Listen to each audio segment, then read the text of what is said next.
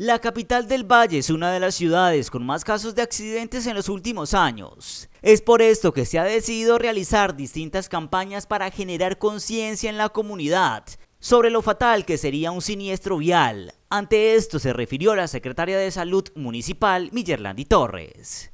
Bueno, resaltar que desde el año 2016 hemos venido presentando alrededor de 320, 340, 328 muertes y no hemos logrado disminuir la cifra a menos de 300 fallecidos por accidentes de tránsito. Estas muertes se encuentran entre las personas entre 15 y 44 años, hombres jóvenes principalmente, conductores de motocicletas, como seguramente ya lo manifestó el secretario de Movilidad.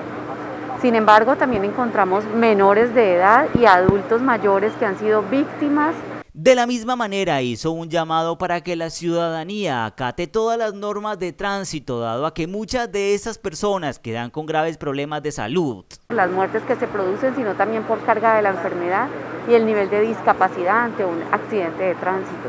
También tenemos alrededor de un 10 a un 15% de personas que se accidentan que pueden quedar con lesiones, con lesiones que eh, son para toda la vida y pueden generar algún tipo de discapacidad.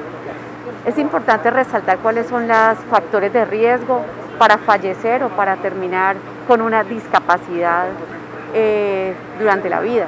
Por último, desde la Secretaría de Movilidad han entregado una cifra bastante preocupante, ya que desde que se decidió ponerle fin a la cuarentena, estos accidentes han ido en ascenso durante estos últimos meses del presente año.